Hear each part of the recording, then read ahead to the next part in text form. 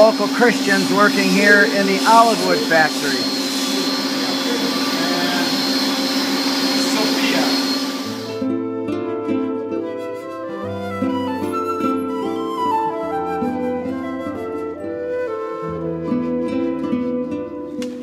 We just arrived at the Christmas Tree Restaurant run by three Christian brothers here in Bethlehem. And this is called Fast Food Bethlehem Style. As you can see the shawarma they're cooking. And these are the vegetables that get put on the shawarma and the falafels. And here is the making of the falafel. There they are, boiling falafel. And here is Osama. He makes the falafels. And our group is all coming in, grabbing their sandwich and their drink. You want. All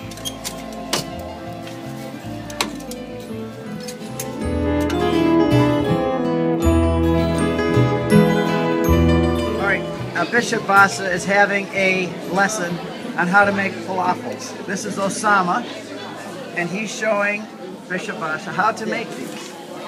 And now we're going to have the demonstration.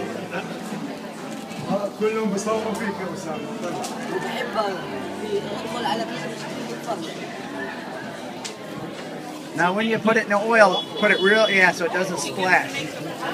Very good. Excellent. Everybody give him a hand. All right, you now have a new job. Shepherd and flock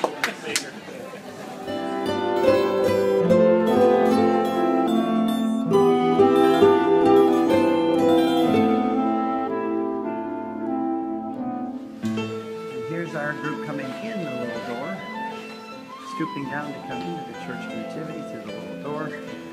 And once we get in, we come into the main part of the church. And there it is, the Church of Nativity in Bethlehem. This is our line right over here, and we're eventually going to go down some stairs there to see the place of the birth of our Lord. This is going to be about a one hour line, it looks like.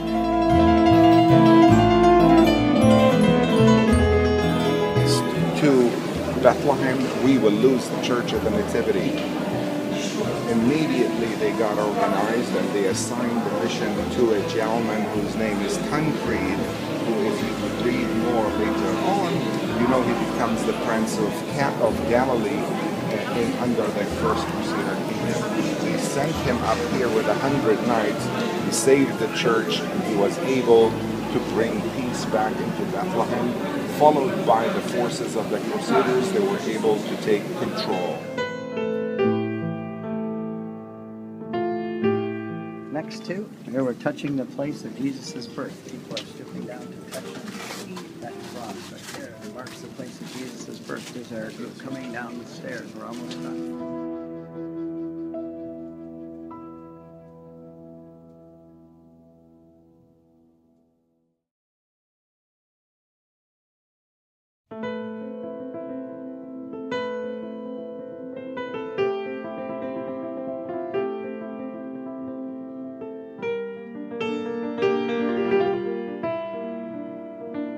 different flavor for all of us. And what struck me in reading the gospel here is that the shepherds went then to the place from which we have just come, and they literally were informing Mary, hey, do you know what happened on the hill as a result of this child being born? Angels came and told us that a child had been born to you. And it is those words that Mary then takes in her heart and ponders them. The shepherds, in effect, become the announcers of good news to Mary herself. What a marvelous gift that the shepherds were to Mary and to Joseph and to all those whom they encountered. We too, though we may feel in some ways that we are on the lower rung of the ladder in terms of the church, are called to be the bearers of good news to all who will hear it. my hands, he will deliver you into my well.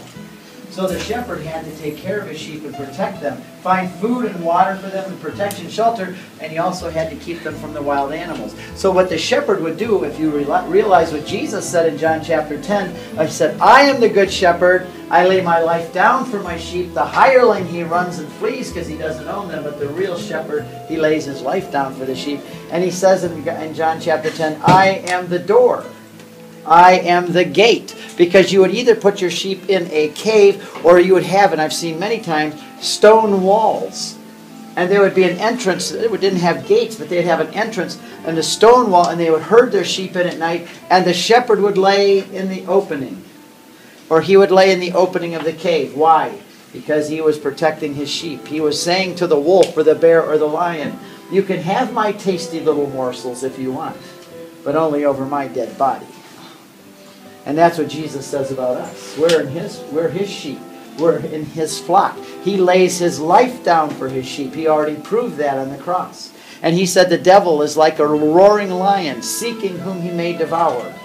But as long as you stay in the sheepfold, as long as you stay in the cave, Jesus sleeps in the entrance and takes care of you. It's a good example of what happened. And nature sing, and heaven and nature sing, and heaven and nature sing. my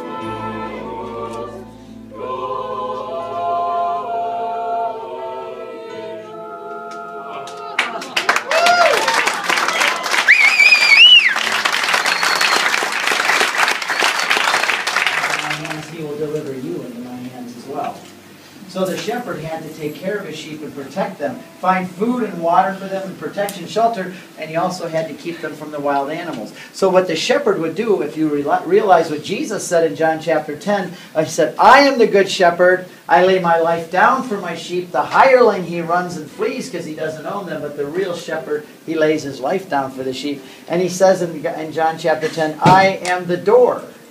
I am the gate. Because you would either put your sheep in a cave or you would have, and I've seen many times, stone walls.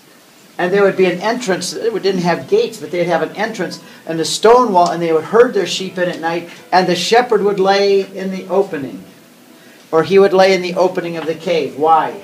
Because he was protecting his sheep. He was saying to the wolf or the bear or the lion, You can have my tasty little morsels if you want, but only over my dead body.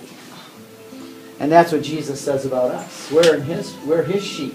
We're in his flock. He lays his life down for his sheep. He already proved that on the cross. And he said the devil is like a roaring lion seeking whom he may devour. But as long as you stay in the sheepfold, as long as you stay in the cave, Jesus sleeps in the entrance and takes care of you. It's a good example of what happened there. Shepherd's Field, there's some great artwork about the Nativity in the Chapel of the Angels. And then the Zeminski family sang for us again.